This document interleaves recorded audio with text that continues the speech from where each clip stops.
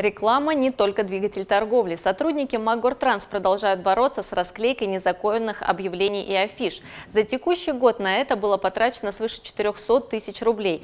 Какие чаще объявления появляются в запрещенных местах и какие штрафы ждут нарушителей, расскажет Милада Иволина. Незаконное размещение рекламы – проблема, которая существует в городе давно. Объявления можно встретить на остановочных комплексах и на опорах контактных сетей. Всего их в городе более 10 тысяч. Специалисты ежедневно проводят объезд. Днем у нас производится осмотр контактной сети на предмет повреждений э, для спокойной и дальнейшей работы э, электротранспорта но в связи с тем, что заклеивают наш город вот этими рекламными объявлениями, вынуждены отвлекать высококвалифицированный персонал, технику на бестолковую работу. Чаще всего незаконной рекламой являются бумажные объявления. Появляются они на оживленных перекрестках и улицах города. Убирать афиши и объявления приходится службе электрохозяйства. Тяжело, это не наша работа.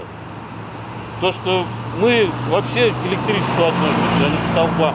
На техобслуживании МАК-Гортранса находится свыше 300 посадочных площадок, из них более 150 с ограждением. Только с начала года специалистам пришлось убрать свыше 3000 объявлений со своих объектов. По противодействию этим объявлениям э, проводится работа совместно с администрацией города, совместно с администрациями района.